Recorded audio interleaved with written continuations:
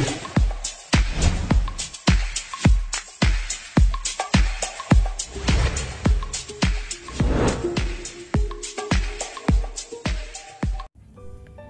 Friends welcome to आसास kitchen corner आज हम बनाएँगे आंवला और मिर्ची का चटपटा और टेस्टी अचार, जो बहुत ही जल्दी बनकर तैयार हो जाता है। अचार बनाने के इंग्रेडिएंट्स नोट कर लीजिए।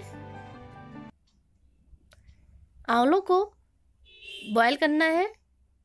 उसमें पानी डालकर इसको लगभग 10 मिनट के लिए गैस पर बॉयल होने के लिए रख दीजिए। फ्लेम को पहले हाई रखिए, फिर मीडियम कर दीजिए। दस मिनट बाद आप चेक करिए, आंवला हल्का सा फट गया होगा। इसको एक प्लेट में रख के इसको दबा के देखिए। अगर ये फूट रहा है तो आंवला पक चुका है, नहीं तो थोड़ी देर और उबाल लीजिए। ठंडा होने के बाद इसकी गुठलियाँ अलग कर लीजिए और इसके पीसेस को भी अलग अलग कर लीजिए। अगर आप चाहें तो आंवले को कुकर में भी बॉईल कर सकते हैं, क्योंकि इसको पकने में थोड़ा टाइम लगता है। तो अगर आपके पास टाइम की कमी है तो आप इसको कुकर में भी बॉईल कर सकते हैं। इस तरह से सारे गुठलियाँ निकाल के पीसेस को अलग कर लीजिए। मैंने आठ से दस हरी मिर्ची ली है, ये मोटी वाली हरी मिर्ची है, जो कम तीखी होती है, इसको धो के लंबे लंबे टुकड़ों में कट कर लिया है।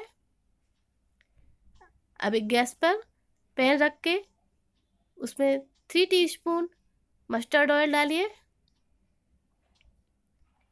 ऑयल गर्म होने के बाद डालिए इसमें वन पिंच हींग, वन फोर टीस्पून जीरा, वन फोर टीस्पून मोटी सौंफ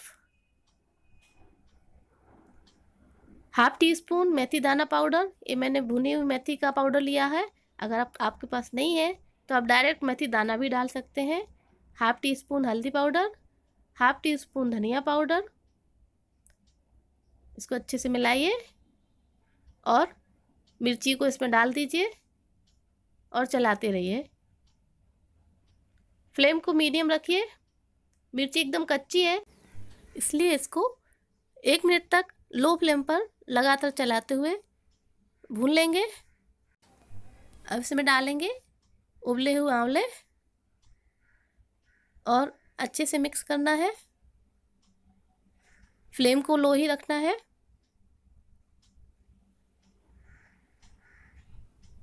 अब इसमें ऐड करिए आधा चम्मच हल्दी पाउडर।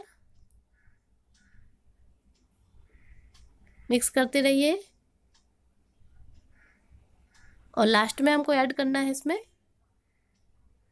नमक, जो मैंने दो चम्मच डाला है।